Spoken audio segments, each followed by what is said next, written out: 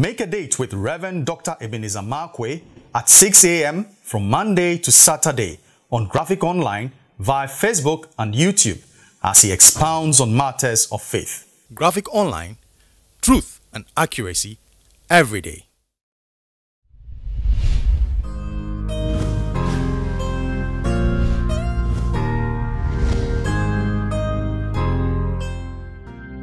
This is Reverend Dr. Ebenezer Markwei of Living Streams International bringing you matters of faith with Graphic Online. Now, this morning I'd like to capture my thoughts in not a long jump. Now, I, I remember when we were in school, you know, I mean, we had uh, games and sports. And one of my, my favorite that I really, I was, I was really um, impressed with that particular game is when people begin to take long jumps.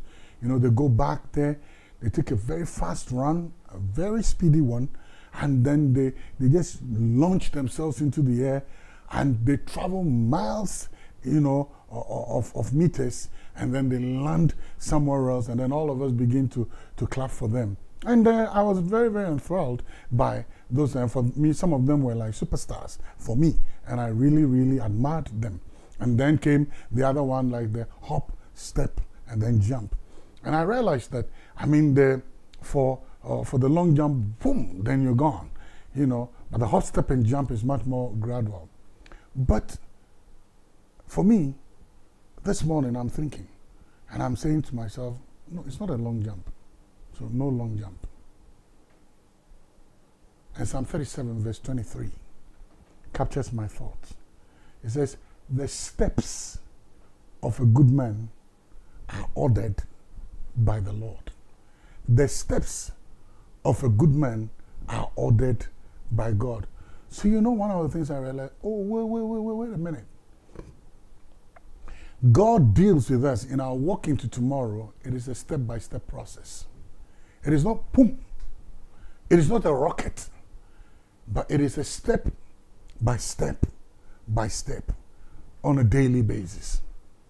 Now, God deals with us through steps. That means so one step after the other, one step after the other. And here comes our test of patience. Many of us would like the boom, then we are there.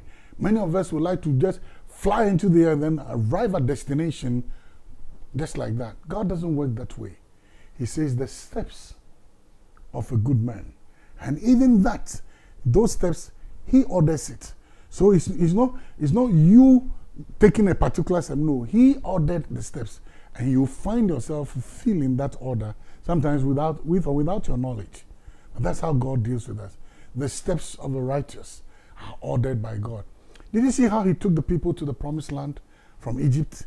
There were steps. Did you see how he took David after David had been anointed, and you know, uh, to be king? Did you see how it do? And let me just say, some of the places you land in, in the step towards destiny, in the step towards the promise, in the step towards your dream. Some of the places you land in may be uncomfortable places. Maybe places of unease, maybe places of discomfort, maybe places of trauma, maybe places of tears. But they are still steps, the steps of the righteous. So here, here's the thing. Sometimes the, the, the, the challenge we have, the challenge of patience, and our impatience with what God wants to do in our lives. We are so impatient that we want it overnight. We want it like yesterday. So guess what? Our walk into 2021 are going to be step-ordered walk. It's going to be step-ordered walks. It's not going to be like a jump, like we hear.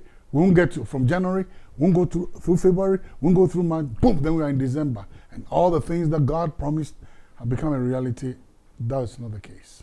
He doesn't deal that way. He deals with us step by step. And sometimes, sometimes, some of the steps we need to take may be uncomfortable steps, might be steps of discomfort. But that's how God deals with us. And that's where He's taking us. I'm persuaded that He says, I know the plans I have towards you. They are plans of good and not of evil. Jeremiah 29 11. They are thoughts, I know the thoughts I have towards you. They are thoughts of good and not of evil to bring you to an expected end. So there is an expected end. He has already mapped it out. He has already marked it out. He knows, we don't know. But it's a step by step process towards that expected end. So can you trust him? Can you have faith that he that has begun a good work in you shall surely accomplish it? No long jump. See you later.